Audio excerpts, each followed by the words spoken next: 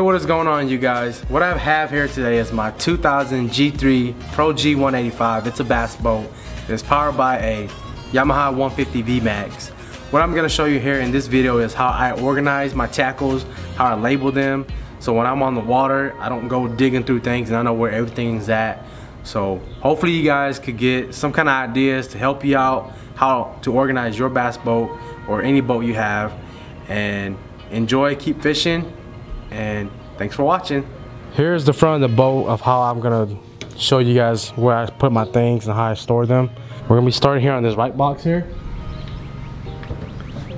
So all my bait casters are in here. Put the sleeves in there so they don't get tangled up when I'm driving around. On this middle box right here, this is where I keep my tackles. I got them all labels so I know where everything's at. You know, I got my deep diving crankbaits, you know, my shad cranks, square bills, my jerk baits, top waters, underspin, uh, miscellaneous tackles, and my jigs. And then on this box up here, I got stuff like my hooks, extra hooks, you know, my my weight scale, um, some shaky heads, basically extra things that I need, extra extra reels that I think I might need here in the front. You know, I got my files, Got files those hooks. And then I also got my scissors up here somewhere. These brown boxes here have um, some of my uh, extra plastics that are in there, just in case I need it. This little container here. You know, got some extra lures in there as well. Things you might, that I might need up here in the front. Got my ruler here. You know, when I'm fishing tournaments, I wanna make sure I'm bringing in, you know, qualified fish. Move on to my left box.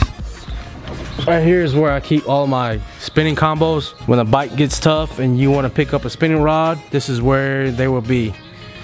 Got my safe face in here just in case, you know, during the winter when it gets cold, you don't want your face freezing when you're running down the water. I got some gloves in here just in case hands gets cold, gotta keep your hands warm. Here are my lights. You know, when you get out there early in the morning and it's still dark, you gotta put these lights up. Got my pedals down here just in case, you know, something happens. So here at the back of the boat, these two bigger ones are extra storage. We're gonna start on this right one. Always gotta have toilet paper. You Never know when you're gonna need it. I keep my oils in here, my two-stroke oil. Man, there's plenty of time where I need oil on the water and gotta have, you just gotta have to keep one in the boat if you're running a two-stroke. Um, Got some of my fuel treatment over there. Every time I fill up, got to pour that fuel treatment in there to keep your, your motor running strong and healthy. Got some extra lines in here just in case I need to tie up somewhere. I've got a spare prop right here. That spare prop right there. You might run into shallow water where you bend your prop on the motor. Just pull it out, no problem. Swap it out with that new one. You're good to go. This is where I keep all of my extra tackles just in case I need. And then here are all my plastics that are tail worm. Keep flukes, twin 12 swimmers, lizards, crawls, brush hogs. So basically all my soft plastics are in here labeled. I put them in um, one gallon bags, to keep them in here. I got some extra lines over there. Got my marker buoys.